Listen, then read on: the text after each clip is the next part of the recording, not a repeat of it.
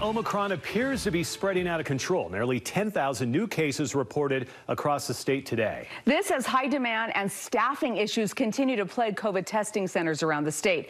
In fact, officials estimate about 41,000 tests are being administered per day. Also tonight, people fired up over the mask mandate in Salt Lake County. Plus, Dr. Angela Dunn now raising concern test to stay protocols in our schools could fail. Team coverage for you tonight. Let's begin with news specialist Mike Anderson with those long testing lines. And Mike, the Utah Department of Health is asking people to, as much as possible, consider other options.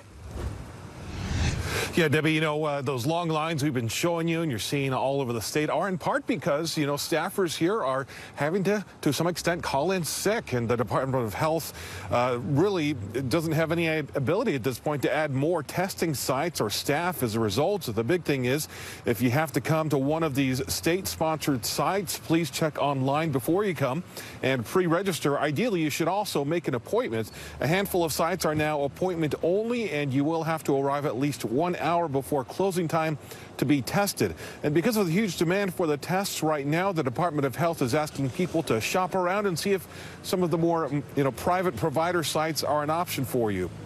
And there is one more option if you're certain that you're sick and you don't need an official result. Again, if you have symptoms and you don't want to get tested or you can't find testing, please just stay home. Consider yourself positive, um, and take those precautions like wearing masks around other people.